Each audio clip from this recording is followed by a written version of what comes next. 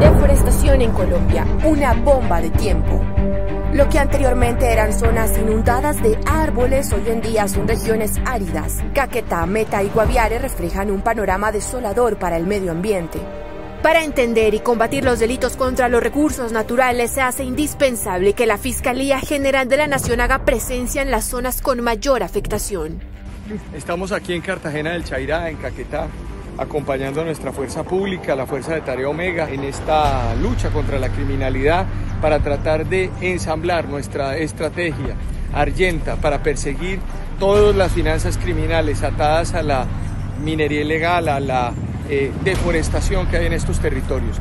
Caquetá es uno de los departamentos más golpeados por la deforestación. La Fiscalía tiene en marcha la estrategia contra la deforestación en la Amazonía, que enfoca esfuerzos investigativos y operativos para intervenir áreas afectadas por este fenómeno y persigue los mercados ilícitos asociados con este flagelo criminal que impacta parques nacionales naturales y zonas de especial protección ambiental en Amazonas, Putumayo, Caquetá, Guaviare, Guainía, Baupés y Meta. Entre 2020 y 2021 se han realizado 17 operaciones en las que han sido capturadas 85 personas. Como parte de la estrategia nació un caso denominado Los 40 Principales, dirigido a ubicar y judicializar a los mayores auspiciadores de la deforestación con ganadería extensiva dentro de los parques nacionales naturales, los Picachos, Tinigua y la Macarena. 40 personas fueron individualizadas por tener más de 200 cabezas de ganado en áreas que no permiten la ganadería a ninguna escala, lo que quiere decir que no son pequeños campesinos, sino grandes promotores de la ampliación ilícita de la frontera agrícola. La Fiscalía General de la Nación es la puerta de entrada a la justicia en Colombia.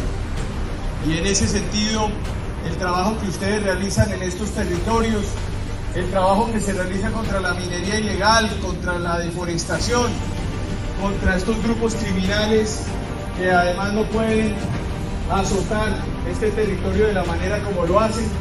En los departamentos de Caquetá, Meta, Guaviare, Putumayo, Bichara, Guainía, Baupés, Amazonas, Cauca y Nariños, 75.031 hectáreas de bosque fueron deforestadas en 2020, lo que equivaldría a 75.000 canchas de fútbol arrasadas. Para combatir este flagelo, el fiscal Barbosa también se reunió con los comandantes de la Estrategia Nacional Artemisa de la Policía y el Ejército para fortalecer acciones frente a organizaciones criminales que afectan el medio ambiente, especialmente en zonas protegidas.